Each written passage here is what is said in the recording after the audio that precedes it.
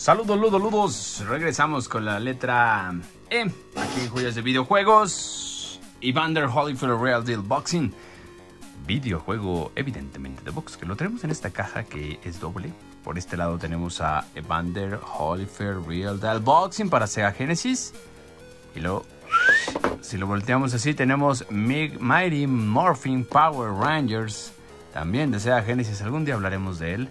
Si lo ponemos de lado, tenemos los dos. Evander Holyfield Real Deal Boxing y Mighty Morphin Power Rangers. Ya saben que lo que estamos haciendo aquí con estas cajitas es ahorrar un poco de espacio. Son cajas gruesas de VHS que conseguimos hace tiempo, en donde teníamos anteriormente juegos de Nintendo 64 que pues están un poco más grandes. Al momento es lo que hicimos para ahorrar espacio fue desalojar los juegos de ¿cómo se llama? de Nintendo 64, hacerles cajas individuales y en estos ahorrarnos un poquito o querer ganar un poquito de espacio metiendo dos cartuchos que saben, caben perfectamente y se cuidan bastante bien, se protegen del polvo. Tenemos cajas rígidas también para el Sega Genesis, pero para evitar y para poder meter los dos, porque en las cajas rígidas solo cabe uno, los metimos en estos, los guardamos, los empaquetamos bonito y quedan perfectamente bien guardados. Así las cosas con este juego, con estos juegos de Sega Genesis.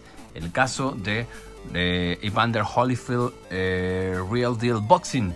Hablemos de este videojuego desarrollado por Acme Interactive.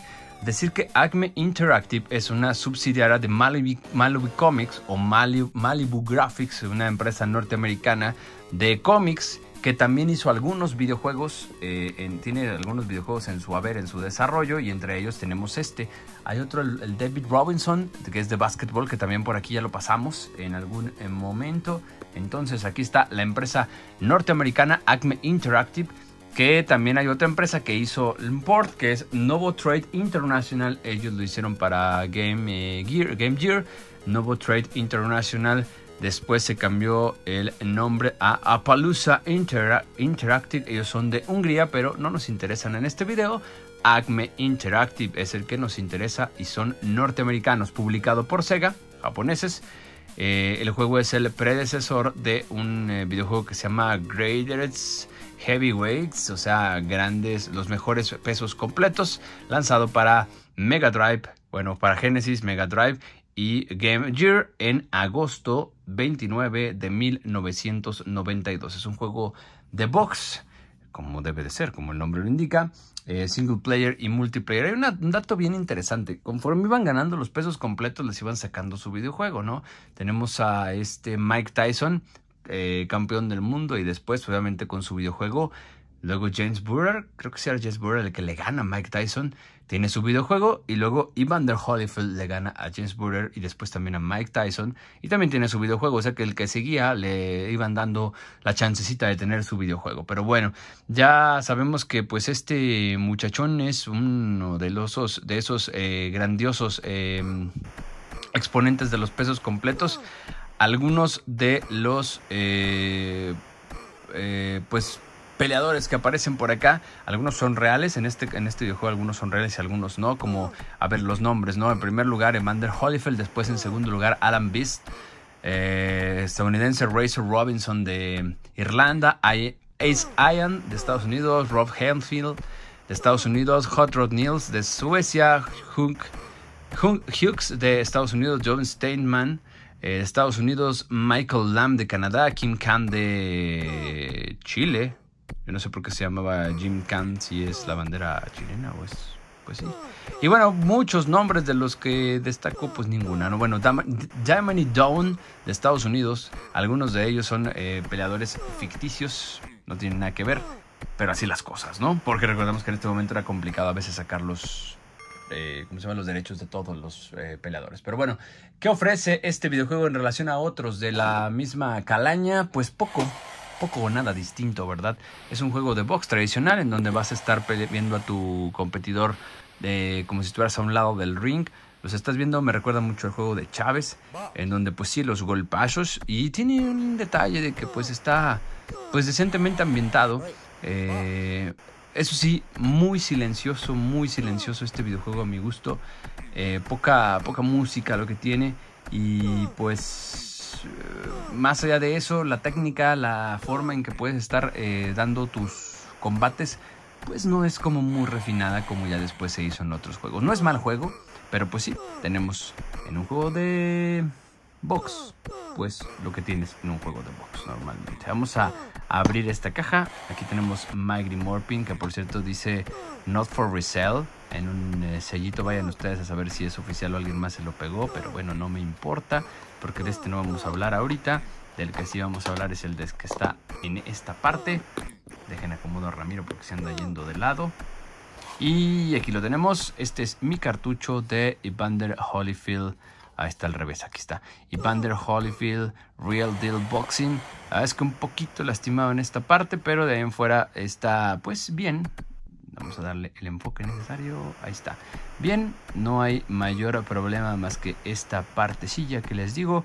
Pero bueno, lo tenemos aquí listo para eh, pues tenerlo dentro de la colección. Según Rarity Guide, este videojuego tiene una rareza del 9%, o sea, nada raro, como que nadie lo quiso, pero bueno, no importa. De hecho, yo me tardé en conseguirlo porque realmente no lo encontraba, sabía de su existencia, porque pues Evander Holyfield fue muy famoso para los que seguíamos el, el box en aquellas épocas en las épocas de Julio César Chávez. Yo era un niño, obviamente, pero sí era no fanático, pero sí ni conocedor, obviamente, pero sí seguía era un seguidor tal cual del box siendo un niño por la moda de eh, Mike Tyson por un lado y la moda de Julio César por otro. No estaban en la misma división, evidentemente, pero pues era como que esa parte de decir, órale, el box tiene algo, ¿no? Entonces sí, nos atrapó como muchos, a mí me atrapó como a muchos niños de la época de los 90, pues el videojuego de Chávez y entonces querías conocer un poquito más de los videojuegos y entre ellos pues sí a Evander Holyfield eh, como, bueno, ya no nos tocó, a mí ya no me tocó tanto como Foreman, pero pues también ahí estaba algo de lo que llegaba de George Foreman, obviamente el caso Mike Tyson, que fue el más emblemático de la época, escuchábamos, porque obviamente a mí no me tocó Mohamed Ali, pero escuchabas un poco acerca de todo eso y así nos podemos ir con otros tantos eh, boxeadores, el Macho Camacho, Oscar de la Hoya, ya en las últimas etapas de Julio César, eh, ¿Quién más estaba? El, el, Maromero Páez. Bueno, muchos otros que por ahí estuvieron dando el rol. Grandes boxeadores de los Estados Unidos, de México y algunas partes del Caribe. Eh, que pues sí nos acompañaron. Roberto Manos de Piedra Durán, que tampoco me tocó en su mejor momento, pero sí en lo último. De, es dominicano, me parece, Manos de Piedra.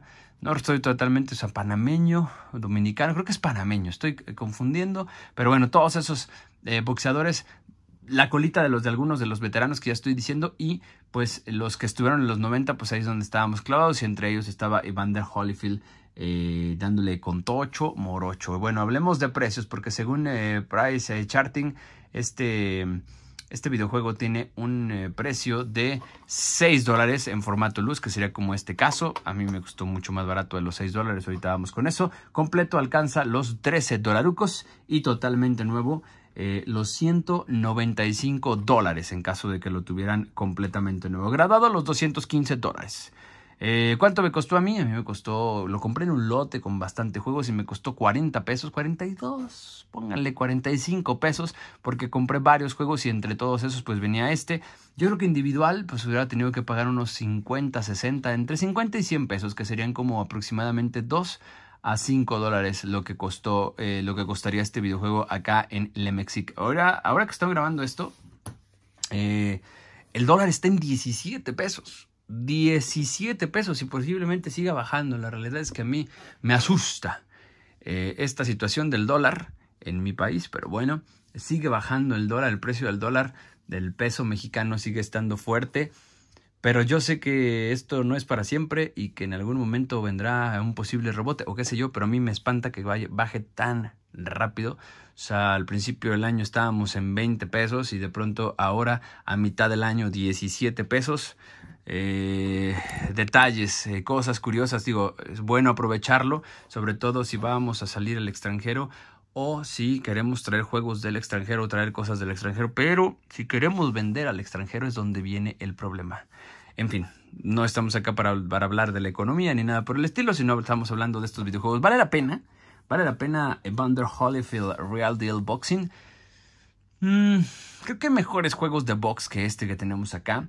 Eh, de entrada los de Foreman me parecen mejor, pero no es un mal juego. Claro que el público está limitado porque estamos hablando de un juego que no es para todos, o sea, los juegos de box, el tema de los juegos de box es como algunos, algunos este, jugadores los preferimos, otros los dejan pasar.